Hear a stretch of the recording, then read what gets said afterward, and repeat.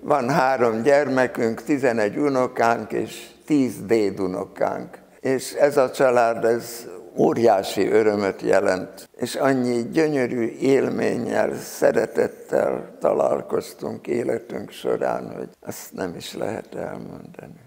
Az Úristen úgy hordott minket a tenyerén,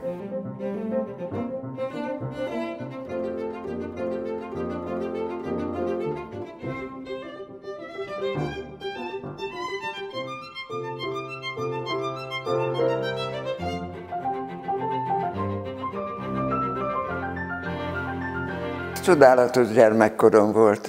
Édesapám orvos volt, édesanyám mindig velünk volt.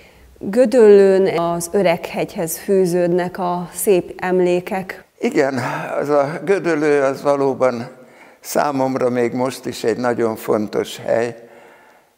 Nagyapám vette régen, 36-ban azt a telket, és aztán a nyarainkat mindig ott töltöttük gyerekkorunkban is, de aztán felnőtt korunkban is, sőt gyerekeinkkel, meg unokáinkkal volt ott egy nagyszerű strand, ahol gyönyörű nyaraink voltak. Sok fiatal volt ott a környéken, egy olyan nyaraló telep alakult ki ott az Öreghegyen, Blaha Luisa fürdőnek hívják, még most is pedig a fürdő már nem működik, ahol nagyon sok szép nyarat töltöttünk.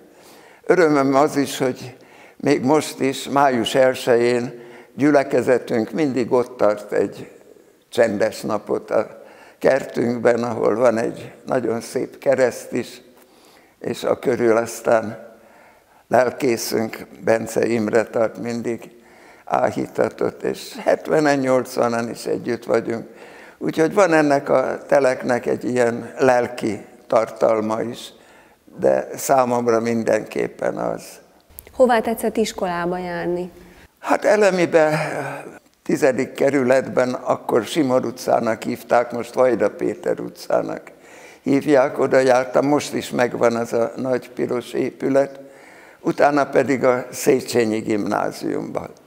Ott töltöttem az első négy évet, nem sokat tanultunk, mert hol szénszünet volt, hol léggiriadó. Aztán a háború után átkerültünk ide Budára, és itt folytattam a gimnáziumot, először a Bármadas Lány gimnáziumban, mert az nyílt meg legelőször itt Budán. Ugye a hidakat fölrobbantották, át nem tudtunk menni, úgyhogy az 5.-6. gimnáziumot itt a Bármadasban töltöttem, hát az gyönyörű volt, sok szép lány körül között, és hát egész más lelki tartalmú iskola volt az, mint a Széchenyi, a tizedik kerületben. És aztán megszűnt a koedukáció, mert megnyíltak a hidak, és a két utolsó évet pedig a Lónyai Református Gimnáziumban végeztem, ott is érettségiztem.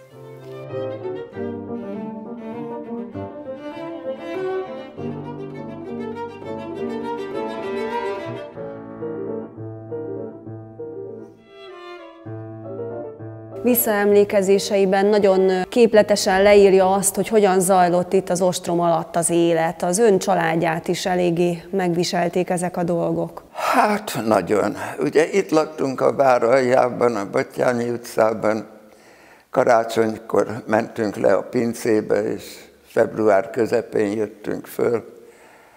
Hihetetlen gondjaink voltak élelmezés tekintetében, meg víz tekintetében vízért mindig menni kellett valahova, ami egy életveszélyes alkalom volt, mert ilyenkor aztán az aknavetők megindultak. És sokszor a vízcsapok mellett ott hevertek a áldozatok is, akik a kannát a kezükbe tartották, de már nem tudtak hazamenni. Kisgyerekként hogyan tudta ezt földolgozni lelkileg? Szüleivel beszélgettek erről? Hogy... Hát ugye én akkor már kamasz voltam. Úgyhogy, mint kamasz, ezt az időt, ezt a háborús időt is, azt lehet mondani, hogy meglehetős nyugalommal éltem át. Édesapámat sokat féltettük, mert az mindig járt sebesülteket kötözni, nagy aknatűzben is, de Isten megőrizte őt, és mindig hazajött. És hogy szereztek élelmiszert? Volt is valami tartalékunk, sokat ettünk babot, meg céklát. A krumpli az hamar elfogyott. Azt lehet mondani, hogy éheztünk. Pulzusom lement 40-re, rettentő fáradt voltam mindig. És nagyon féltettük a nővéremet, aki akkor 18 éves volt, meg édesanyámat. Ezek mindig ilyen öregnek öltözködtek, befestették magukat öreg ruhákba, bugyolálták magukat, hogy ne vegyék észre az oroszok, ez már ugye február 13-a után volt. Akkor az élelmezésünkben egy új lehetőség nyílt, hogy a budai falvakba mentünk ruhával, és cseréltünk. Volt, amikor lisztet, de nagyon sokszor csak marharépát, és az is nagy kincs volt. Egyszer édesanyámmal mentünk Solymárra, egy orosz lovas kocsis állt meg mellettünk, hogy szálljunk föl a kocsira. Hát nem kis félelemmel szálltunk föl, de ez egy nagyon kedves orosz katona volt, elvitt minket vagy hat kilométerre, és kedvesen intett, mikor leszálltunk. Ilyen élményünk is volt.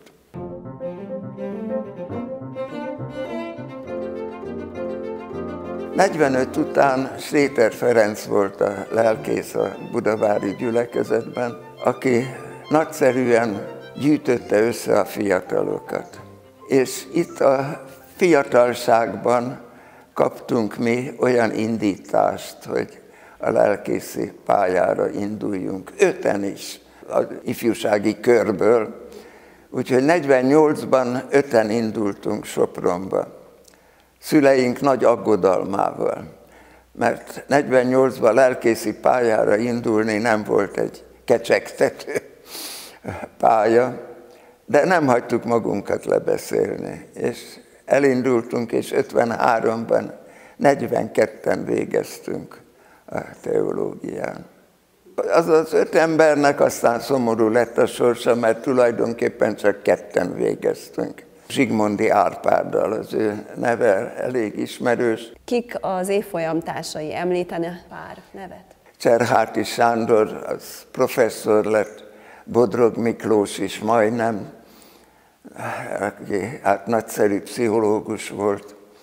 Aztán hát Fehér Károly, Kincler Irén, Szitáné, Margó, Takács Házi Zelma, Pintér Károly, Pintér János, Kovács Pál, Sárkány Tibor, róla meg ne feledkezzek.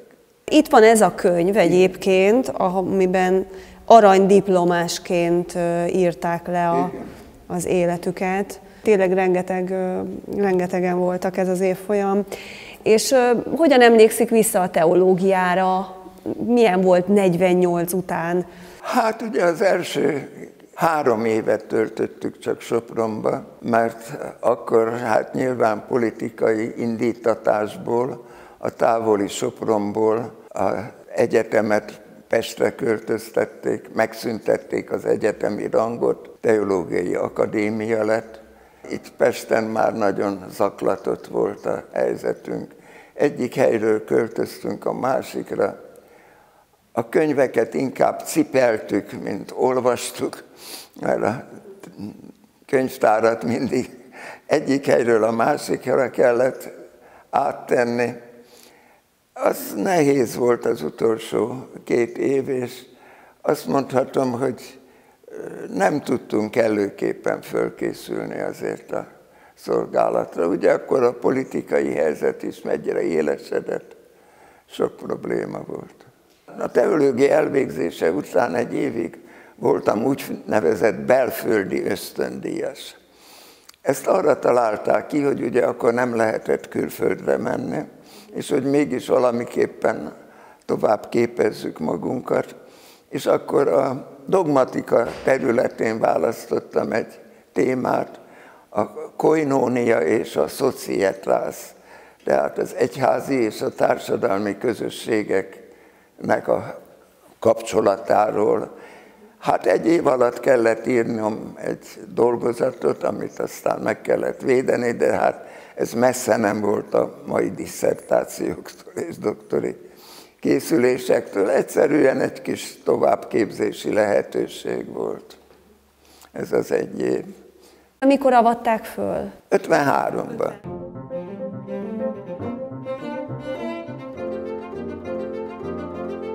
Először Fehérvár kerültem. Tulajdonképpen Székesfehérvári segédlelkész voltam, de mivel ott nem volt lakás, kikerültem Fehérvár Csurgóra, a régi tanító lakásba, ahol a két szobás, ugye ilyen régi parasztház, középen a konyha, elől a tiszta szoba, hátul még egy szoba, és az özvegy tanítónénivel laktunk mi ott együtt. Az egy gyönyörű év volt. Én voltam az első lelkésze a Fehérvár Csurgói gyülekezetnek, ugye, mert mindig szórvány volt, és az az első év, az egészen nagyon mély nyomokat hagyott bennem, és nagyon boldog voltam ott. És akkor utána Deáktér jött? Egy év Deáktér, igen. És aztán hát ide kerültem a várba. Az megint egy gyönyörű időszak volt, de hát közben nagy esemény volt, hogy megnősültem. Csodálatos Gazevszki Mártát vettem feleségül, akivel most éppen a 64. közös életévünket tapossuk nagy boldogságban és hálaadásban. Na aztán itt voltam a várban 61-ig. Ott az történt, hogy én is az ifjúsági munkára próbáltam koncentrálni, ami az akkori politikában nem aratott nagy tetszést. Úgyhogy erre csak hamar felfigyeltek, és kihelyeztek Vas megyébe, Kissomjóra. Akkor már két gyermekünk volt, én egy kofferrel a kezembe elindultam Kissomjóra, ahol hát a segédlelkészi szobában kaptam helyet, és ott voltam egy fél évig. Közben ugyanis kiderült, hogy nincs lehetőség arra, hogy olyan helyre kerüljek, ahol a családommal együtt legyek. Az ottani kisomjói fizetésből magamat sem tudtam eltartani, nem hogy még a családot, de hát feleségem tanárnő, és ő azért helytált mindig. Ha kellett, egyházfi volt, hogy valamivel kisegítse a anyagiakat. Na és akkor 60, ez 61-ben volt, és kiderült, hogy nem tesznek el máshova. A püspök azt mondta, hogy csak az egy, állami egyházügyi hivatal rendeletére tud őt máshova helyezni. Akkor elmentem az AIH-ba, ők meg azt mondták, hogy a segédlelkész elhelyezése az a püspök kirzárólagos joga, ők ebben nem szólnak bele. És akkor kiderült, hogy ez így nem megy tovább. És kerestem polgári állást. Ez sem ment könnyen, mert ahol hirdetésekre megjelentem, és megnézték a személyi igazolványomat, ugye, amiből kiderült, hogy lelkész vagyok, akkor mindig az volt a válasz, hogy sajnos már betöltötték az állást. Milyen munkát tetszett keresni? Hát mindenfélét. Először próbáltam nyomdába, ugye, ami mégiscsak egy olyan közelebbi eh, dolog, ahol hát betűkkel dolgozhatok. De aztán mindenféle más helyeket is, ahol hát mindenütt visszautasítottak. Végre aztán megnyílt egy úgynevezett munkaerő közvetítő hivatal. És oda elmentem, és hát azoknak kötelességük volt a munkanélkülieket valahova elküldeni. És akkor kaptam egy beutalót a kőbányai gyógyszergyárba. Nem is akartak fölvenni még a beutaló ellenére sem, mert hogy majd én ott klerikális reakciós propagandát folytatok. Úgyhogy nehezen ment a fölvételem. Végül a munkaügy is azt mondja, hogy na hát mit tenne maga az én helyembe? És hát akkor azt mondtam, hogy a munkás államban adnék munkát annak, aki dolgozni akar. Na hát aztán ezzel a kőbányai gyógyszergyárnak a, így mondhatom, büntető üzemébe kerültem, ahol gumicsizma, darucruha, gumikesztyű, gázállarc, állandó kinti munka, ezzel kezdődött. És ott töltöttem hat évet, először mint segédmunkás, aztán közben elvégeztem a vegyipari technikumot, akkor már mint technikus dolgoztam.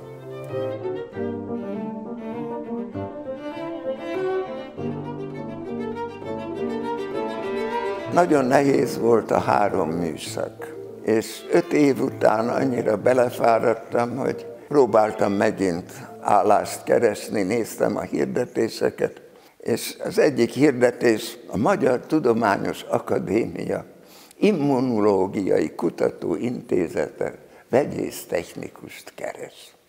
Na hát, elmentem oda, és hát ott is nehezen, mert azért a lelkészi múlt az kísért, de mégis fölvettek, és akkor egy évet ott töltöttem. És lehetett arról beszélni, hogy önnek milyen hitbeli meggyőződése lehetett, van? Lehetett. Azok olyan rendes emberek voltak, proletárok voltak, de nem kommunisták. Szóval na, ebben a vonatkozásban inkább megbecsülést kaptam, mint bántalmat. Persze ez a hat év kiesés, ez azért nem olyan volt, mint egy külföldi stipendium. Persze sokat tanultam, többet, vagy mást, inkább így mondom, mint amit könyvtárakban tanulhattam volna. Megbecsülöm azokat az embereket, akik ott dolgoztak velem együtt. Nagyon tanulságos idő volt. És a kémia vagy a vegyészet az, az mennyire állt önhöz közel? Hát semmire, ezt megtanultam, hát egyszerűen. Ez egy tanulás volt. De meg is szerette az idők folyamán? Tulajdonképpen, amikor már a kutatóintézetbe kerültem. Ugye ott volt sok időm, egy kutató orvosnak lettem, az, ott így mondták elegánsan, hogy asszisztense. És ugye a kísérletek között volt sok idő, akkor beültem a könyvtárba, olvastam. És ha nem kerülök vissza, akkor jelentkeztem volna biológusnak valamelyik egyetemen. Hát persze az is kérdés, hogy azt oda fölvettek volna, de akkor azért megérintett a biológiának inkább, a biológiai tudománynak a szele. Aztán elfelejtettem azt is. És hat év után pedig úgy változott, hál' Istennek a helyzet, hogy visszakerültem a Budavárba. Ez Isten csodája volt, és Váradi Lajosnak, aki akkor volt itt lelkész, a segítsége mindenképpen. És folytattam ott, ahol abba hagytam hat év után. Érezte azt, hogy most itt vissza kell fognia magát akár az ifjúsági munkaterén, csak hogy itt maradhasson? Nem, én teljes, mindig teljes szabadságban éltem. Legfőképpen ugye ezt ott az ember a szószéken érzi, meg a látogatások alkalmával. De nem korlátoztam magamat az ifjúsági munkában sem, és volt is lehetőség. Amennyit tudtam, annyit végeztem. Tehát semmiféle korlátba nem ütköztem, vagy nem hagytam magamat korlátozni, így is mondhatom. És mennyi ideig szolgált utána itt? 90-ben mentem nyugdíjba, innét. És aztán még tíz évig a Fébé Diakonisza Egyesületnek voltam a vezetője Turmezei Erzsébettel. Az is egy nagyon szép tíz év volt a befejezés. Ez ugye pont a rendszerváltáskor jött ez a feladat, tehát akkor ön Igen. volt az, aki az első lelkész. Én voltam. Hát Turmezei Erzsébettel indítottuk újra a fébét.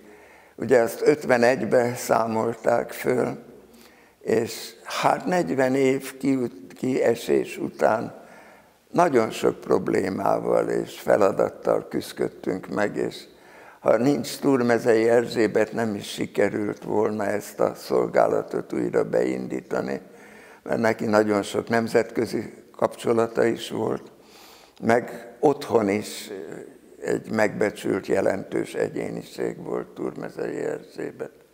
Hogy elhívtál,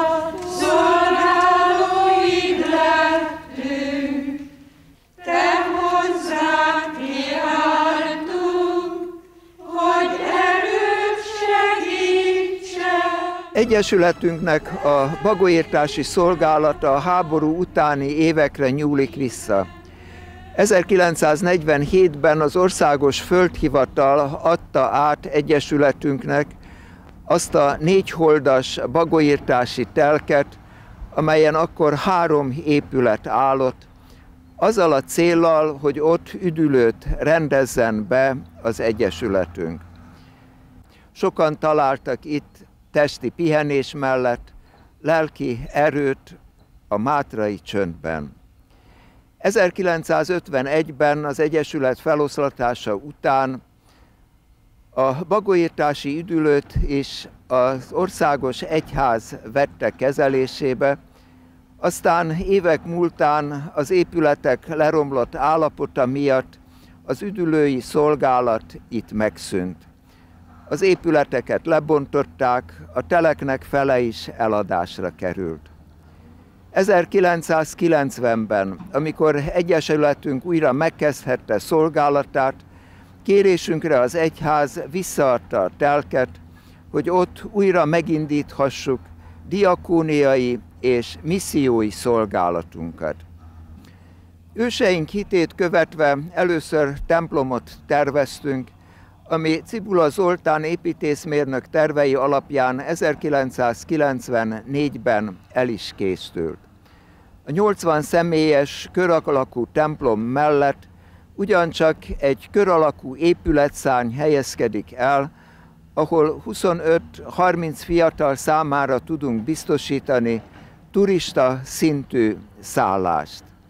Azt szeretnénk, hogy gyülekezetünk fiataljai itt csendes napokon, evangelizációs jellegű konferenciákon kerüljenek közelebb a minket szerető Istenhez, és ők maguk is vállalják az irgalmasságnak a szolgálatát.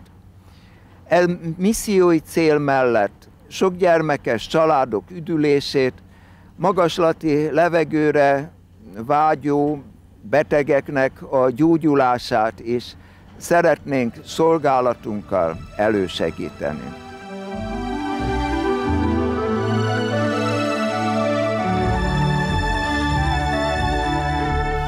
És amióta végleg nyugdíjba ment, úgymond, tehát már onnan is a fébétől, mivel foglalkozik, hogy telnek a mindennapjai? Igen, zsúfoltak a napjaim.